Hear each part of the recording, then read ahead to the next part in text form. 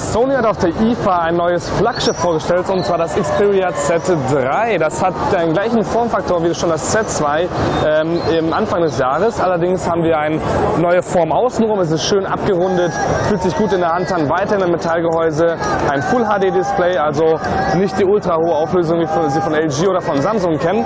Allerdings ist das genug, denn dadurch wird der Akku geschont, der allerdings mit 3000 mAh ziemlich groß ist und durch, durch mehr als einen Tag wahrscheinlich auch führen wird. Der neueste Prozessor ist dann wieder hier mit dabei, also wirklich ultra schnell das Ganze, wenn wir einfach ähm, Videos anschauen wollen oder auch selber Videos drehen wollen, die sogar mit 4K aufgezeichnet werden können, wieder hier bei dem Z3 von Sony. Zudem ist die Frontkamera auch sehr schön scharf, es ist wasserdicht mal wieder, also können es mitnehmen zum Schwimmen.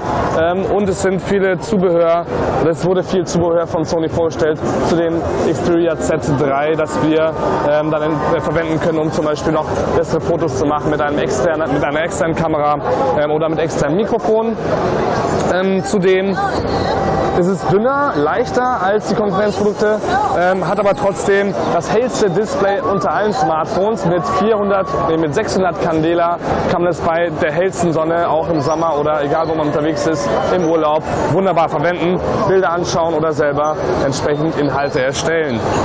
Grundsätzlich kann das Z3 nicht viel mehr als das Z2. Es hat eine etwas neue Form bekommen, allerdings den gleichen Prozessor, die gleiche Kamera und die gleiche Software mit der neuesten Android-Version. Allerdings haben wir hier jetzt ähm, einen etwas größeren Akku drin und vielleicht eine etwas verbesserte Kamerasoftware, die uns erlaubt, dann entsprechend mehrere Kameras miteinander zu verbinden. Das ist natürlich ganz lustig auf Konzerten, aber im Alltag wird uns das beim Z3 vielleicht nicht so viel helfen.